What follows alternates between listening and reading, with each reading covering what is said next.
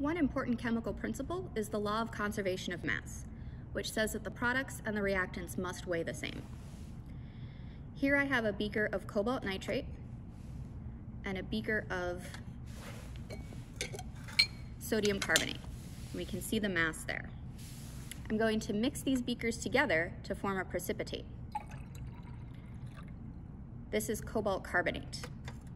And we can see that the mass remains the same, proving the law of conservation of mass.